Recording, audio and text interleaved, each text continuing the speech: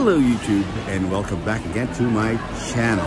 Uh, everything has to come to an end. So after two weeks of holidays here in the Philippines, we are heading back home. But we're gonna be staying in Korea for a couple of days.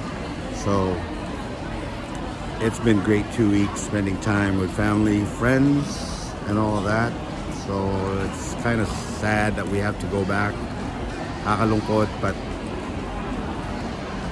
has to come back to reality, right? So anyways, we're heading back to uh, Canada, but we're going to be spending a few days in Korea. So sit tight.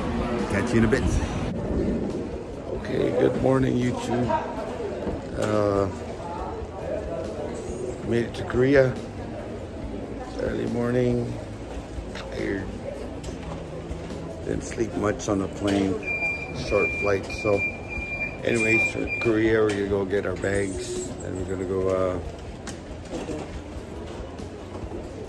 put them aside upstairs where they store luggage.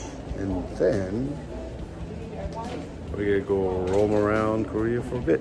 All right, catch you in a bit.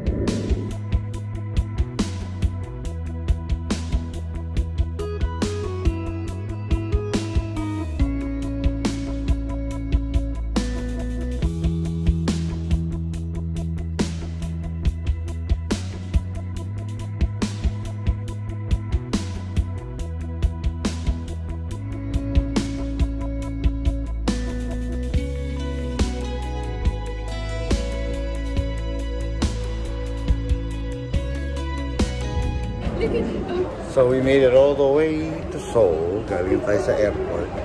So we left our some of our luggage sa airport.